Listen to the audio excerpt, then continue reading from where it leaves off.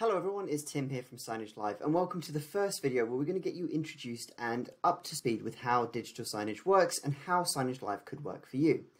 Now this video tutorial and this entire page of training sessions will give you an overview of everything you need to know but what we're going to do is start off with the basics. Now there are three key pieces that I suggest you need to look at before actually going into digital signage completely. That is your content that you want to run, the hardware that you want to run the content and the CMS platform that you choose to deliver that content to screen. And these will all vary depending on what it is that you're looking to achieve. You could potentially just be looking to display one piece of content on one screen or a few pieces of content on one screen. On the complete other side of that, you could be looking to manage thousands of players.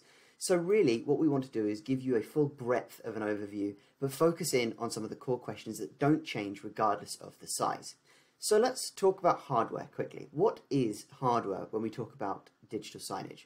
Well, hardware is anything that runs behind the screen or device or whatever it is that's going to be running your content. These can vary.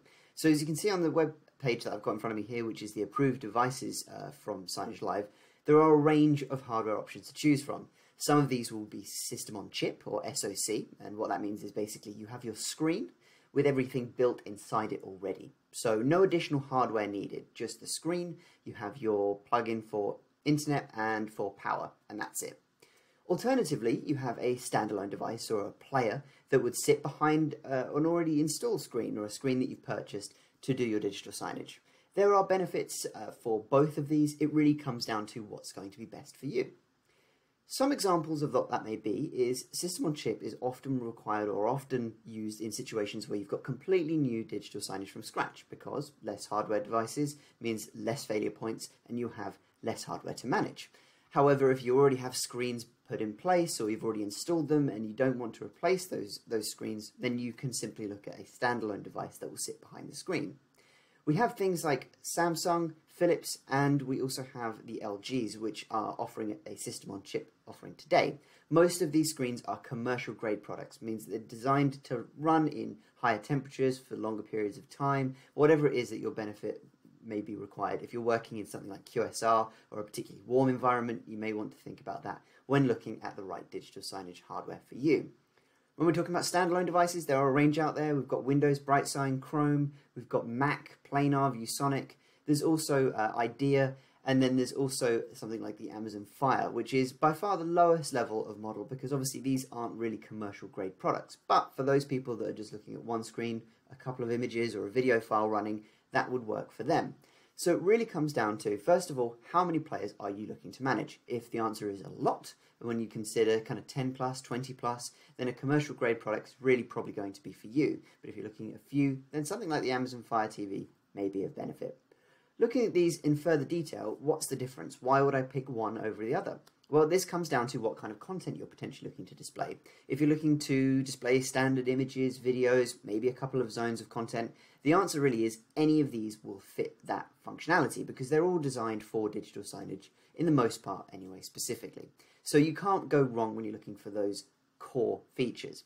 Where they start to differentiate is if you're looking to expand out or do something slightly more unique with your digital signage. A couple of examples of those may be you want to have a HDMI input, so you want to show a cable box or live TV that's fed from another device into your player, then to your screen or digital signage. Now, if you're looking at the system on chip offerings, you can actually do this via the HDMI input. Signagelive, as an example, can ingest that and display it on the screen in a zone just like if it was another piece of content like an image or a video. I know that other devices such as IAdea and BrightSign also have that functionality built into them with a HDMI input on specific models.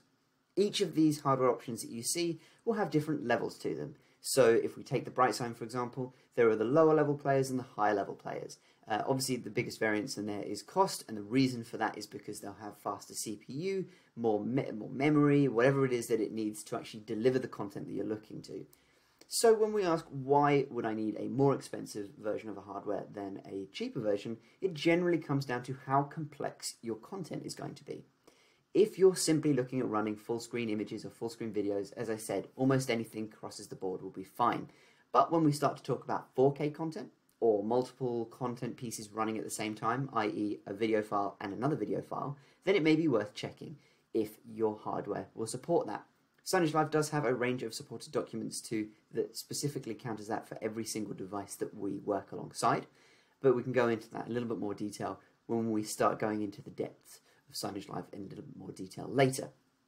So that's that's a, a kind of high level overview. So if you're starting with hardware, start off with what you're most comfortable with. If you already have a device on here that you're pre preferential to, or already have some in stock, or whatever that situation might be, that's a good starting point. But if you're starting from scratch, one of the core questions will be, do you already have a screen?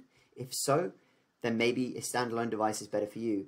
If you're completely from scratch, you need to install, this screen, then maybe system on chip might be a uh, better benefit. But again, what kind of content are you running? Is it 4K? Is it some complex animation in HTML5 that will require more processing power, something a little bit stronger? And that will be your starting point. You can take a look through all of these options within the Signagelive website at signagelive.com uh, and go into the product drop down and then click on each one of these and we'll give you some more information on that device and take you straight to their website. So if you want to learn more about their device from the manufacturer, then you can do. That should give you a high level overview of the hardware. The next thing we're going to be looking at in the next slide here is content. And we're doing that because once you've gone through these three pieces, you have a really good understanding, not necessarily of exactly everything you need, but specifically what questions you need to be asking when deciding on what you're going to go, go forward with. Hopefully that's been useful. Move on to the next slide now if you're ready. If not, come back, have a, have a drink, grab a coffee, and watch the next video when you're ready.